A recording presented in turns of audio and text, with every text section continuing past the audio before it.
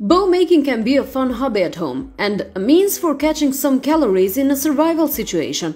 Curve this bow from a sapling or tree branch, then string it with some of the strongest cordage you can get. It is surprisingly quick and easy. Some of the best wood for making bows include Osage orange, yew, ash, black locust, and hickory. Most hardwoods like oak and maple will work. Start with a relatively straight sapling or branch that is free of knots, side branches and twists, about 6 feet 2 meter long and 2 inches 5 centimeter in diameter. It should be dead and dry, but have no sign of rot. Cut it carefully to avoid creating any cracks in the wood. This piece is now your bow stave. Stand the stave upright on the ground, hold the top loosely with one hand, and lightly push down until the middle bows outward. It should swivel to show you which way it is naturally curved or more bendable. The outside bend of this curve is called the back and the inside bend is the belly. Don't touch the back, any damage to it can cause the bow to break.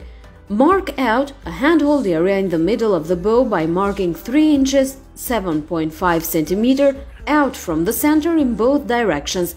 The area above the handhold is the upper limb and the area below is the lower limb. Put the bottom tip of the bow on the ground, hold off the top tip and push slightly outward from the belly side of the handhold. Observe how the limbs bend and note any areas that do not bend. Then use a knife to slowly and carefully remove wood from the stiff parts of the belly. Remember, only remove wood from the belly side. The goal is to get the limbs to bend in an even curve.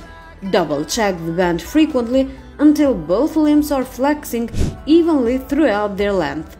Curve small notches on each tip, being careful not to curve into the back of the bow. They only need to be deep enough to keep a bowstring in place.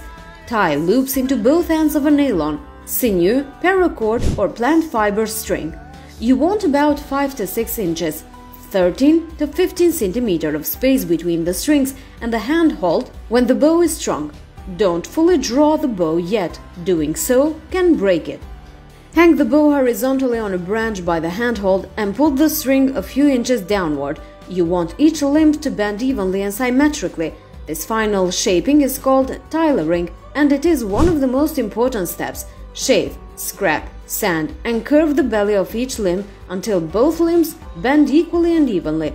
Recheck frequently, pulling down on the string a little bit further each time until you are able to pull it to your drawn length, the distance between the hand hold and where your fingers hold the bowstring when pulled back to your upper jaw.